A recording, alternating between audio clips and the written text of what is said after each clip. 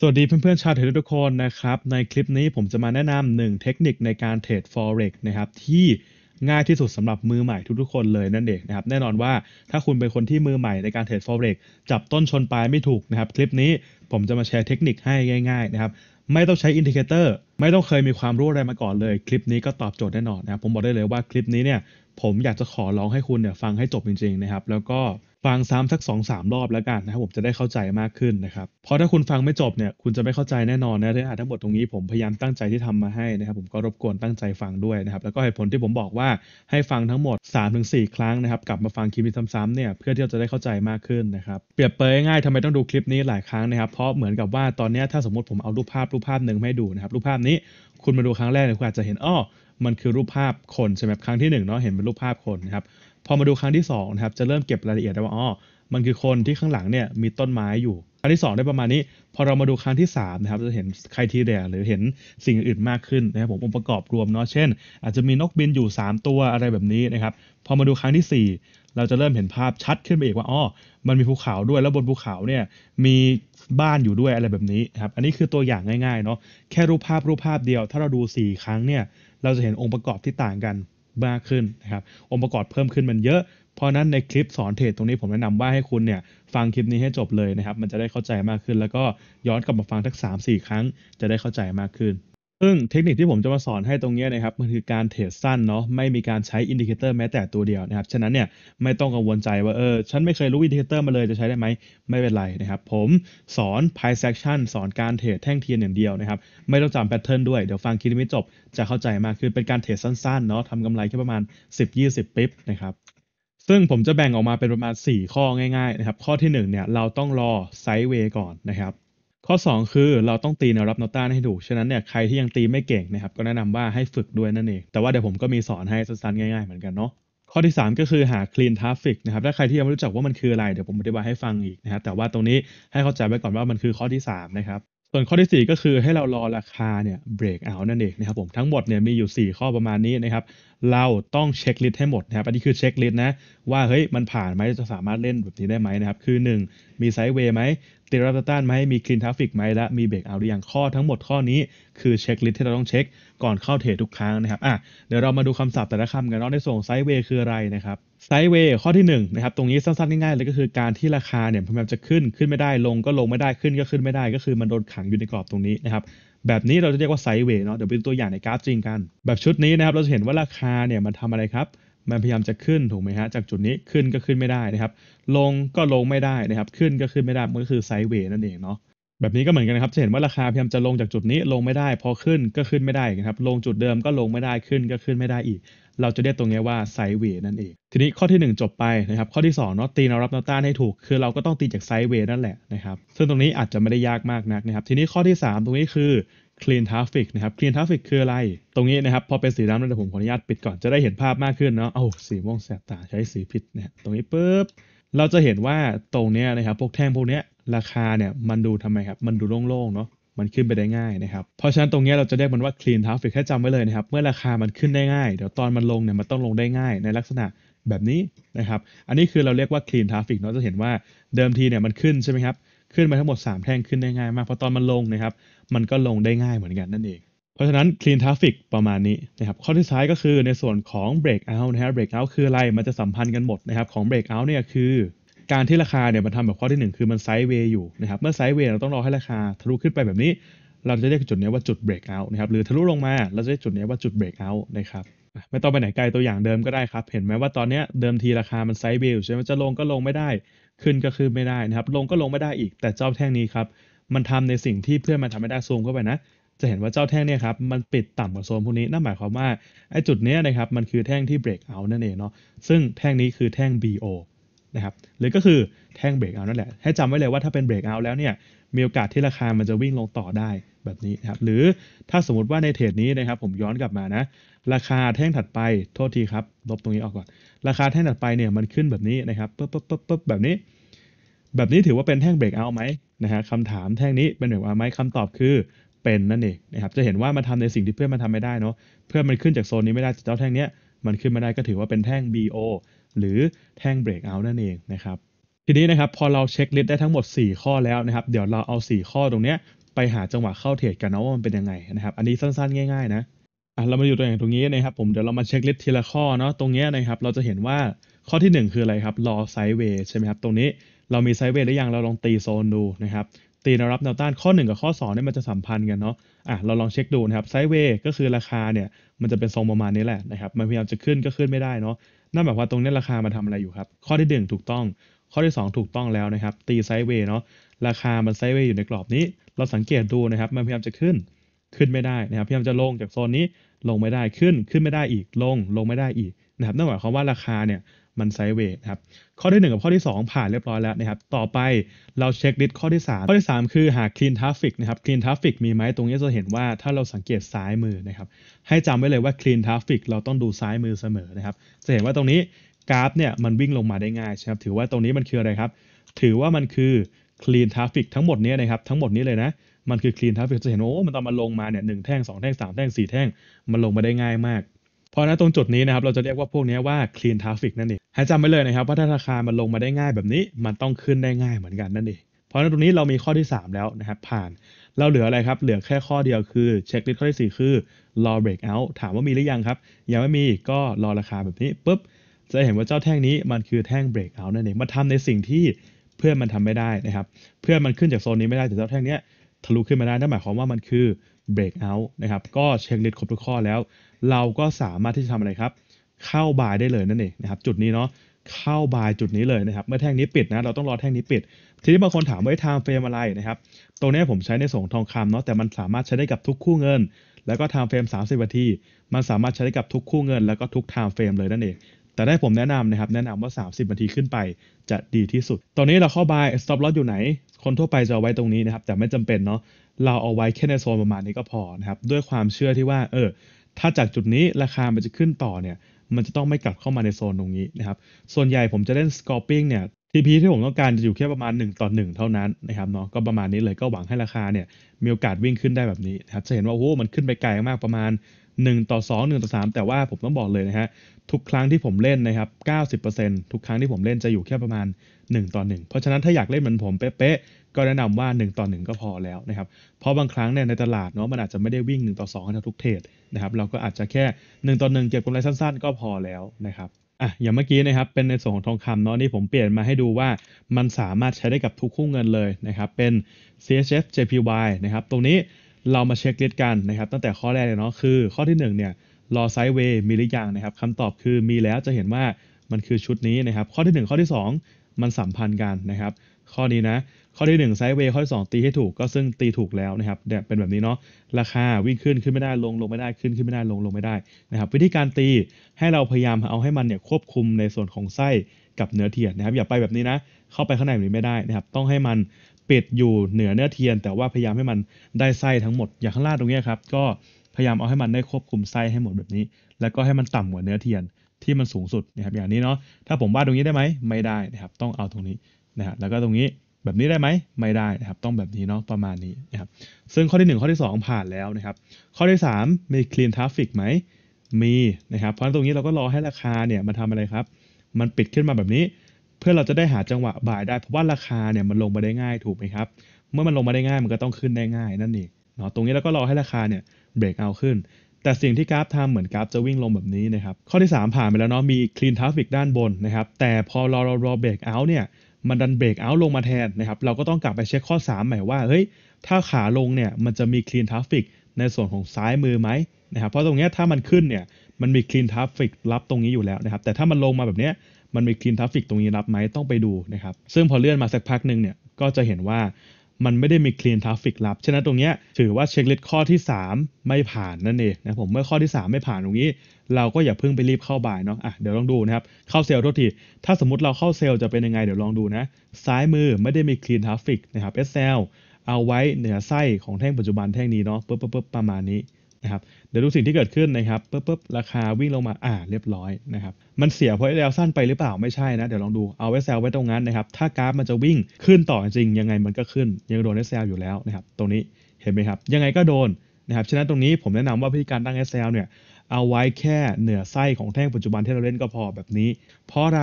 อันนี้ผมสอนเสริมๆให้สั้นๆนะครับเพราะว่าสมมติเวลาราคามันจะวิ่งขึ้นแบบนี้นะฮะมันจะมีสิ่งที่เรียกว่า candle trend เนาะสั้นๆนะครับราคาวิ่งขึ้น แท่งถัดไปจะขึ้นต่อเนี่ยไส้ของแท่งนี้จะต้องเคารพไส้แท่งนี้ แท่งถัดไปจะขึ้นต่อก็เหมือนกันครับ ไส้ของแท่งนี้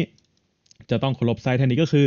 มันจะต้องไม่ลงมาทะลุไส้แท่งนี้ ขาลงก็เหมือนกันนะครับ จะต้องเป็นโซนประมาณนี้ ไส้ด้านบนนะครับ ของแท่งถัดไปเนี่ยไส้ตรงนี้นะ เขาต้องไม่ทะลุไส้นี้ ถ้าลงต่อก็เหมือนกันครับ ไส้แท่งนี้ต้องไม่ทะลุไส้แท่งนี้ถามว่าจริงไหมมาดูกราฟตรงนี้ก็ได้ครับ จะเห็นเริ่มจากชุดนี้นะ ขาลงชุดนี้นะครับ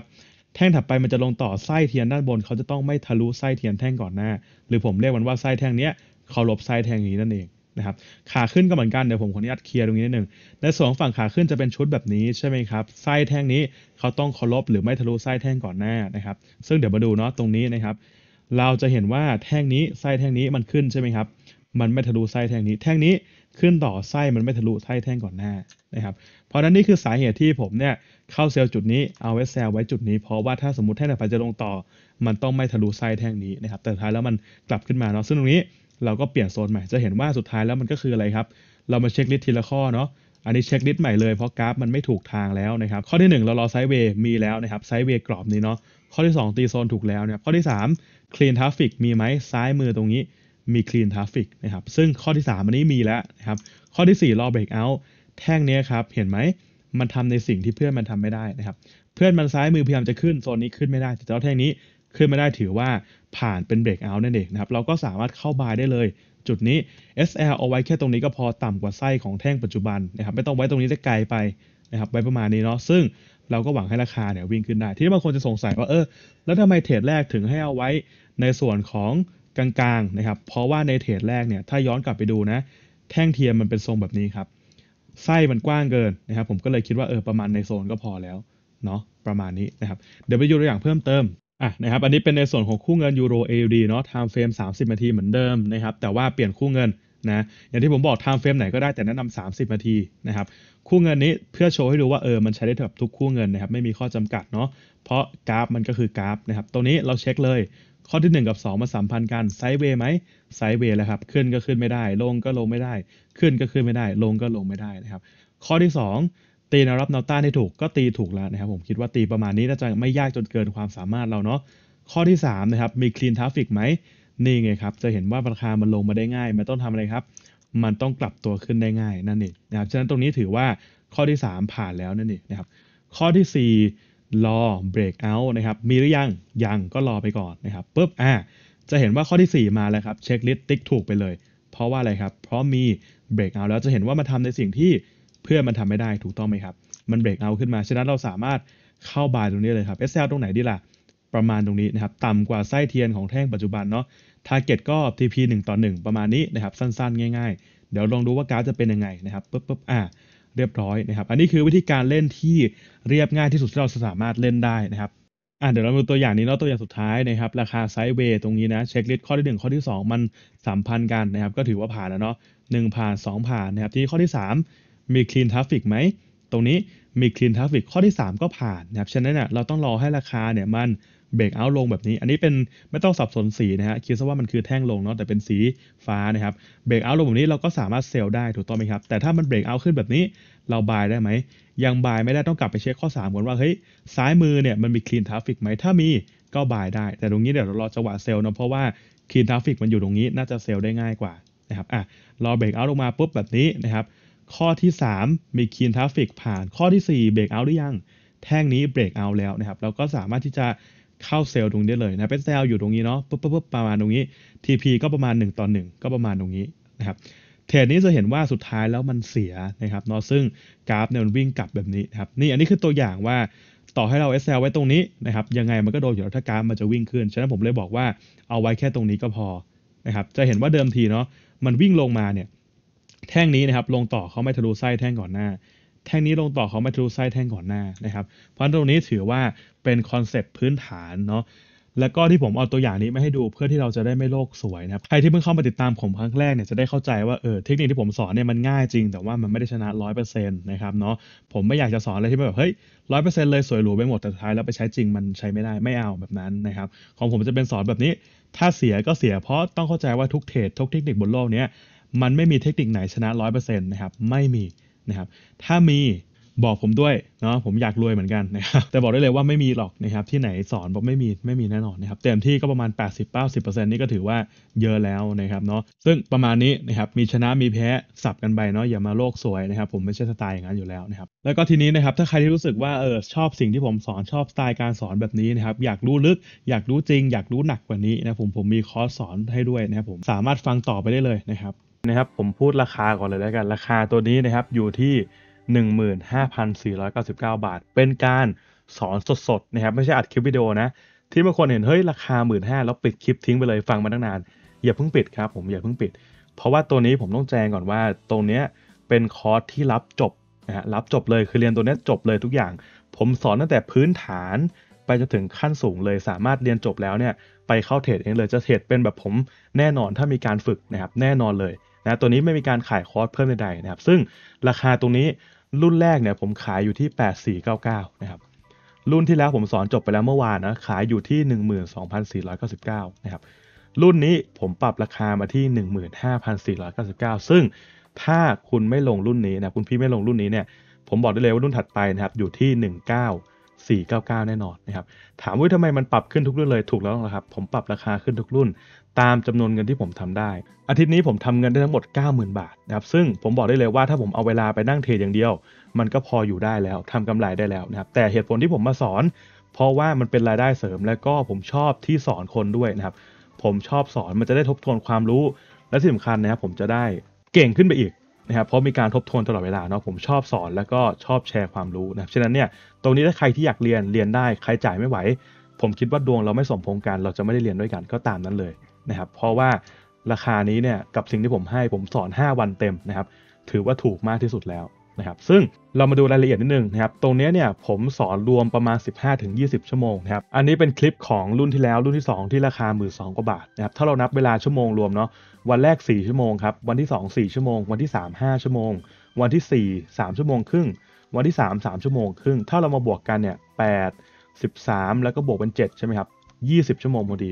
ผมสอน 20 ชั่วโมงนะครับ ด้วยราคาเท่านี้ผมบอกได้เลยว่าคุ้มแน่นอนและสุดแน่นอน เดี๋ยวผมมีรีวิวให้ดูด้วยนะครับ อันนี้ไม่ใช่ผมพูดเองนะ มีรีวิวจากนักเรียนให้ด้วยนะครับ มีคนทักมาจองแล้ว 4 คนนะครับเขาลงรุ่นที่แล้วไม่ทัน เขาก็ต้องจ่ายราคานี้แล้วก็จองแล้ว ผมบอกเลยนะว่า ถ้ารุ่นนี้ไม่ซื้อรุ่นหน้าราคาเท่านี้นะครับ เรามาดูรายละเอียดกันบ้างเนาะ รายละเอียดตรงเนี้ยผมจะสอนรวมประมาณ 15-20 ชั่วโมงนะครับ สอนสดผ่านโปรแกรม Zoom นะครับผมซึ่ง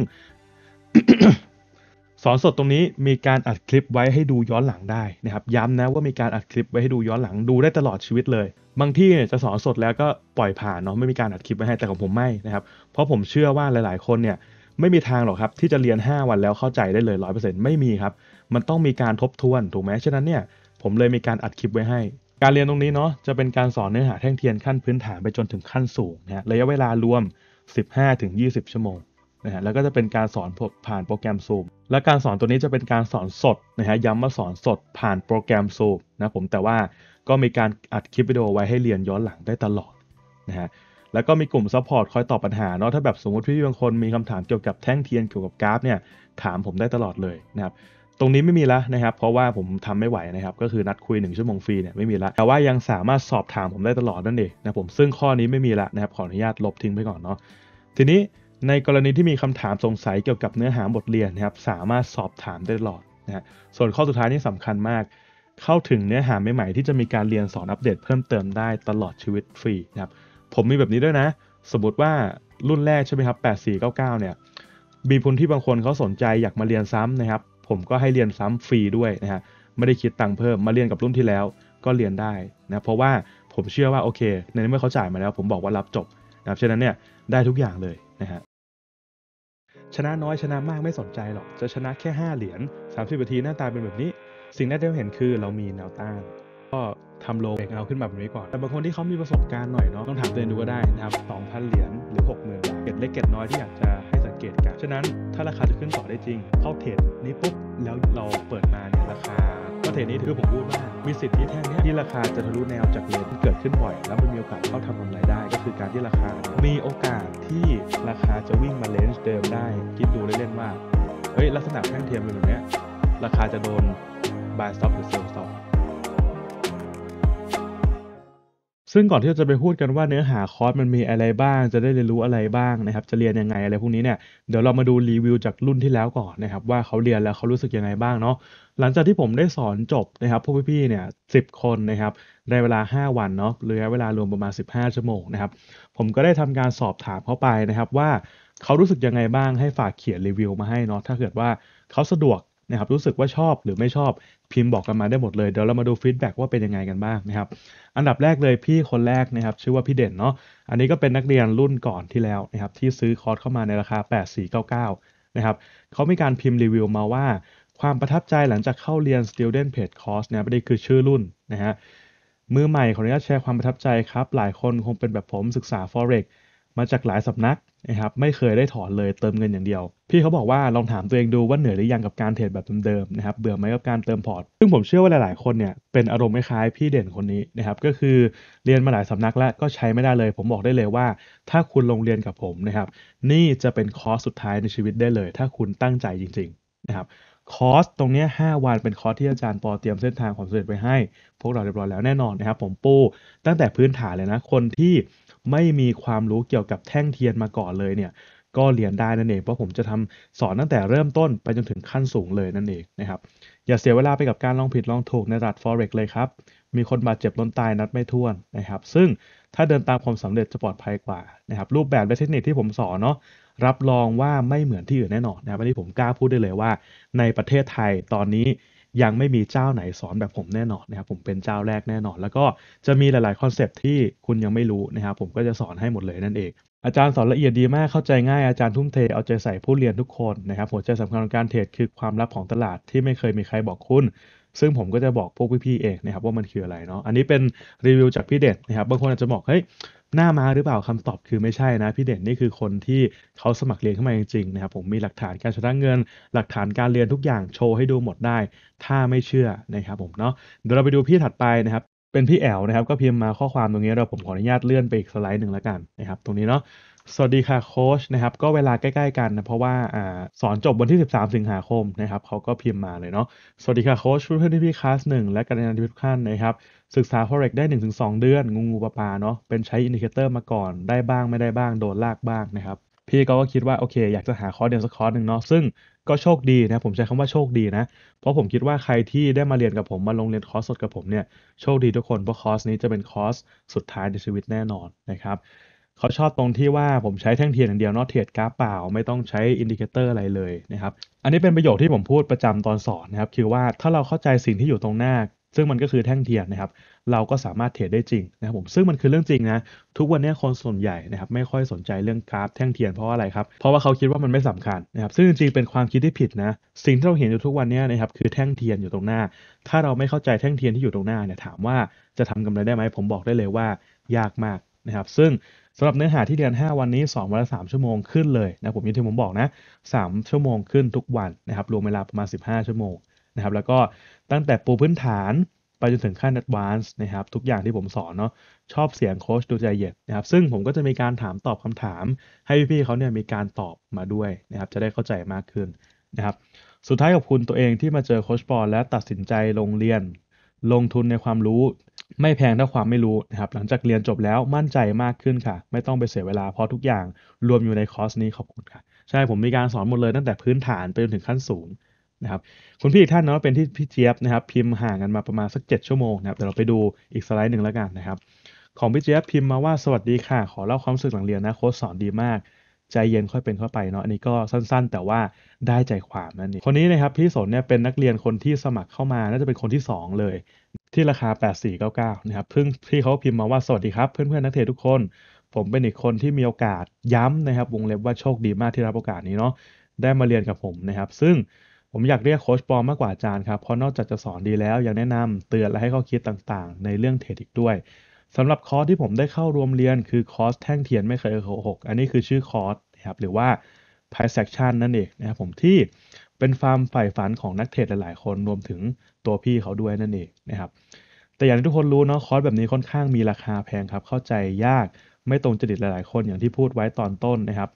คุณพี่เขาโชคดีที่ได้เข้าไปดูคลิปสอนฟรีของผม ซึ่งรู้สึกตรงจริตมาก และเหมือนมีบุญร่วมกัน ได้มาเรียนกับโค้ชนะครับซึ่งอย่างที่ผมบอกใครที่ฟังไม่ถึงตรงนี้แล้วปิดคลิปไปแล้ว หรือฟังถึงตรงนี้แล้วคิดจะปิดคลิปนะครับไม่รอฟังรายละเอียดทั้งหมดผมถือว่าเราไม่มีบุญได้ร่วมที่จะเรียนด้วยกันนะครับฉะนั้นเนี่ยก็ขอแสดงความเสียใจล่วงหน้าด้วยแล้วกันนะครับ ในราคาที่ไม่เคยคิดว่าจะได้แบบนี้มาก่อนแถมจะได้โค้ชตลอดชีพ ซึ่งอันนี้ผมบอกเองนะครับว่าใครที่สมัครเข้ามาเนี่ยปรึกษาผมได้ตลอดชีวิตเลยนั่นเองนะครับเพราะผมก็เทรด forex เป็นอาชีพหลักอยู่แล้ว ตัวเนื้อหาของคอร์สเข้าใจง่ายทำได้จริงมีเหตุผลนะครับมีแบบฝึกหัด ซึ่งผมมีแบบฝึกหัดให้ด้วยนั่นเองนะครับอย่าคิดเป็นการรีวิวเลยครับ อยากให้คิดว่าแชร์ช่องทางดีๆเนาะสำหรับท่านที่ยังไม่ได้เรียนถ้าสนใจแล้วมีโอกาสนะครับโอกาสนี้ ไม่ผิดหวังแน่นอน อันนี้พี่เขาพิมพ์มาเองผมไม่ได้ไม่ได้บังคับอะไรฉะนั้นเนี่ยไม่มีหน้าม้าแน่นอนนะครับเนาะประมาณนี้ลองอ่านกันดูได้ผมไม่สามารถอ่านได้เยอะกว่านี้แล้วเดี๋ยวจะเสียเวลาจนเกินไปนะครับทั้งหมดทั้งมวลเนี่ยรีวิว feedback ออกมาทั้งหมด 10 คนนะครับดีหมดทุกคนเลย อันนี้ก็เป็นของพี่โอ๊ตเนาะนะครับก็ลอง pause อ่านกันดูแล้วกันนะครับค่อนข้างยาวเหมือนกันผมไม่สามารถที่จะอ่านได้หมดจริงๆนะครับเพราะว่ามันค่อนข้างที่จะยาวแล้วก็เดี๋ยวกลัวเวลาเพื่อนๆเนี่ยจะรบกวนเวลาจนเกินไปนะครับเนาะอะถ้าสุดท้ายแล้วกันนะครับก็ ท่านนี้เนาะผมแสวงหาโค้ดและยอมทุ่มเงินเรียนกับโค้ดที่ว่าเก่งๆมาเยอะ แต่ก็เหมือนยังจับหลักอะไรไม่ได้นะครับ ยังพอแตกอยู่เลย และคอร์สนี้ทำให้ผมได้เรียนรู้และเห็นทางชนะตลาดได้นะครับ เพียงแค่ไปฝึกฝนต่อตามแนวทางที่ผมให้ไว้นะครับ ผมมีประสบการณ์ว่าคอร์สนี้มันน่าทึ่ง สามารถเอาไปใช้ได้จริง และ อยากจะแชร์ประสบการณ์แบบนี้ให้กับคนที่กำลังมองหาโอกาสนะครับคนต้องการเรียนรู้เนาะแน่นอนนะครับพี่เขาจะบอกว่าถ้าใครที่สนใจอยากเรียนก็สามารถเข้ามาเรียนได้อันนี้คือผมบอกกล้าเอาหัวไปประกันนะครับว่าไม่ใช่หน้าม้านะครับกล้าพูดแบบนี้เพราะว่าตรงนี้เป็นนักเรียนที่ลงเรียนมาจริง ๆ ประมาณนี้นะครับลองหยุดคลิปดูกันได้นะครับลองลองอ่านดูนะครับจะได้เข้าใจว่าเฮ้ยเขาเรียนแล้วเขาได้ผลจริงไหมนะส่วนนี้ก็เป็นตัวอย่างการเข้าเทรดที่หลังจากที่เขาเรียนจบพี่สอนเรียนจบก็มาเข้าเทรดเอาพี่ๆคนอื่นก็มีการเข้าเทรดแบบนี้ด้วยส่งมาให้ดูบ้างอะไรแบบนี้ ใครที่เพิ่งหลงเข้ามาดูเนาะเรายังไม่รู้ว่าเฮ้ยจะเชื่อได้ไหมจะสอนดีจริงหรือเปล่าถึงแม้จะดูรีวิวแล้วเนี่ยอาจจะเป็นหน้ามาก็ได้ ผมอยากให้แนะนำนะครับคุณพี่เนี่ยกดที่ลิงก์นี้ก่อนเข้าไปดูคลิปนี้ก่อนนะครับคลิปเนี่ยหน้าตาแบบนี้นะ มันจะชื่อคลิปว่าเทรด forex ง่ายแค่ปลายแท่งเทียน คลิปนี้มีความยาวทั้งหมด 3 ชั่วโมงแล้วบางคนหาไม่เจอง่ายๆนะครับ ลองกดเข้าไปที่หน้าโปรไฟล์ผมหน้าเพจตรงนี้นะ กดเข้ามาแล้วก็กดที่หน้าแรกตรงนี้นะครับ คุณพี่จะเห็นเลยคลิปแรกเนี่ยมันจะโผล่มาเลยนะครับคลิปนี้ ดูคลิปนี้จบจะเห็นว่าเวลาเนี่ยมันอยู่ที่ 3 ชั่วโมงนะครับซึ่งคิดซะว่าคลิปนี้เป็นพรีวิวแล้วกันเนาะสิ่งที่ผมจะสอนสไตล์การสอนของผม รูปแบบการสอนสิ่งที่จะได้เรียนนะครับ อันนี้คิดซะว่าเป็นพรีวิวเนื้อหาในคลิปเนี่ยประมาณสักอ่า20%แล้วกันนะครับกับสิ่งที่ผมให้ไปนะครับผมซึ่งเหลืออีก 80%เนี่ยเดี๋ยวเรามาเรียนด้วยกันนะครับอย่างที่บอกนะ ดูคลิปนี้ก่อน 3 ชั่วโมง ถ้าดูแล้วถูกจริต ชอบสไตล์การสอนของผม ชอบสิ่งที่ผมให้ ชอบแนวคิดแบบนี้ ชอบวิธีการเทรดกราฟเปล่านะครับ ค่อยมาลงเรียนได้นั่นเองนะครับเนาะ ไม่ต้องบังคับ ไม่ต้องรีบกันนะครับ ดูคลิปนี้ให้จบก่อนนะ ทีนี้อีกหนึ่งวิธีนะครับสำหรับใครที่ดูคลิปเมื่อสักครู่นี้จบไปแล้วเนาะตรงนี้สามารถเข้ามาดูได้เหมือนกันเดี๋ยวผมแปะไว้ให้ใต้คลิปนี้นะครับชุดนี้เป็น playlist จุดเข้าเทรดจุดออกเทรดทั้งหมดของผมตลอด 2 เดือน 3 เดือนที่ผ่านมานะครับซึ่งก็จะโชว์ให้คุณพี่ดูว่าเฮ้ยผมมีการเข้าเทรดจริง ๆ เข้าเทรดสดๆ แล้วก็ทุกเทรดเนี่ยผมมีการโพสต์ให้ดูจริงๆนะครับก็คลิปประมาณ 50 คลิป ลองมาย้อนดูได้เพื่อให้เกิดความมั่นใจว่า ไม่ผิดหวังแน่นอนที่จะลงเรียนกับผม เรามาดูเนื้อหาคร่าวๆกันดีกว่า ใครสามารถอ่านตรงนี้เองได้เลยนะครับ พอดอ่านเอาเนาะ เนื้อหาคร่าวๆเนี่ยคือวันที่ 1 เราจะมีการปูพื้นฐานก่อนนะครับ อธิบายความสำคัญของแท่งเทียน วิธีการเลือกเวลาเทรดวิธีเลือกคู่กันเทรดอะไรแบบนี้ทำความเข้าใจแท่งเทียน anatomy ของแท่งเทียนนะครับพื้นฐานแท่งเทียนเทรนในตลาดมีอะไรบ้างพวกนี้เนาะวิธีการเข้าออเดอร์ อธิบาย breakout แนวรับแนวต้าน clean traffic candle ten stop loss price structure อะไรพวกนี้หมดเลยนะครับ อันนี้คือจะเป็นการปูพื้นฐานวันแรก แล้วเป็นการล้างสมองด้วยนะครับ ง่ายๆ ก็คือไม่ว่าคุณจะเรียนมาจากไหน วันนี้จะเป็นการล้างสมองคุณก่อน ให้คุณมองกราฟรูปแบบใหม่ วันที่2นะครับ เราจะเริ่มระดับความยากขึ้นมาหนึ่งคือ อธิบายแท่งเทียนขั้นกลางเนาะ มีแนวรับแนวต้าน2.0 3.0 วิธีดูโซน อธิบายเรื่องโซนนะครับ ความแข็งแรงของ time frame ต่างกันอะไรแบบนี้ apartment complex นะครับ มี candle trend วิธีการเทรดใน trend high volume vs low volume กำหนด TP stop loss วิธีการฝึก higher time frame มาที่ lower time frame time frame ใหญ่ไป time frame เล็กอะไรแบบนี้ แล้วก็วิธีการทำ trading pair นะครับ วันที่ 2 เนี่ยหามาจะค่อนข้าง advance ขึ้นมานิดหนึ่ง ส่วนวันที่ 3 เนี่ยเราจะ advance ขึ้นมาอีกนะครับขั้นสูงแล้วนะวันที่ 3 เนี่ยอันแรกก็คือ risk management ก็คือการบริหารความเสี่ยงเนาะ เช่น สมมุติเราจะเสียเทรด50 เหรียญ แต่เราเสียจริงๆเนี่ยแค่ 25 เหรียญนะครับฉะนั้นเราก็จะเซฟประหยัดไปได้ประมาณ 750 บาทนะครับในการที่เราจะเสียเทรดประมาณนี้ ความแตกต่างของ reaction ในโซน breakout impulse entry นะครับอันนี้คือสิ่งสำคัญเลย impulse entry เนี่ยนะครับเป็นเนื้อหาสำคัญของคอร์สเลยนะฮะ liquidity grab ในเชิงของแท่งเทียนคืออะไรนะครับ impulse entry รูปแบบ 6 ราคาตรงนี้นะแพทเทิร์น6 ราคาในตลาดที่เกิดขึ้นประจำและสามารถทำกำไรได้นะครับ แล้วก็จะมีการฝึกซ้อมบนกราฟเนาะกราฟเปล่านะครับผมก็จะมีการถามตอบว่าเฮ้ยเป็นคุณคุณจะเข้าเทรดแบบนี้ไหมเพื่อเป็นการฝึกนะครับโบนัสเทรดทองอะไรพวกนี้เดี๋ยวขออนุญาตไม่เกิดแล้วกันนะครับวันที่ 4 ขั้นสูงต่อเหมือนเดิม เข้าใจโซน i m p o s ที่2.0 แล้วก็ 3.0 นะครับเทรดโซนเทนคอนเฟิร์มแท่งเทียน